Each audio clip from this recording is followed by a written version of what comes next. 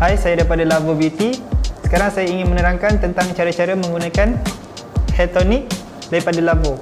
Ini kegunaan siang, ini pula kegunaan untuk malam. Sebelum kita gunakan hair tonic, kita gunakan derma roller terlebih dahulu. Untuk mengelakkan jangkitan dan kecederaan, sanitas derma roller tersebut. Rendam dalam alkohol, pastikan derma roller betul-betul kering sebelum digunakan dan pastikan juga rambut tidak basah. Akhir sekali, derma roller ini boleh dipakai maksimum 2 bulan saja selepas itu tidak boleh digunakan lagi. Cara menggunakannya, anda perlu menolak sahaja pada bahagian kulit kepala anda dengan perlahan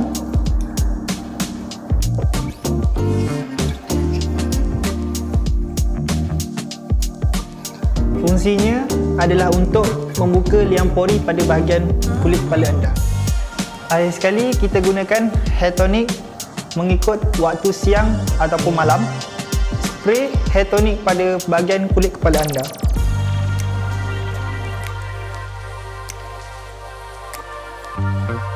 Kemudian urut-urutkan pada bahagian kulit kepala anda. Anda juga boleh lebihkan pada bahagian yang botak kerana ia dapat membantu pertumbuhan rambut anda. Sama juga cara pemakaian pada waktu malam.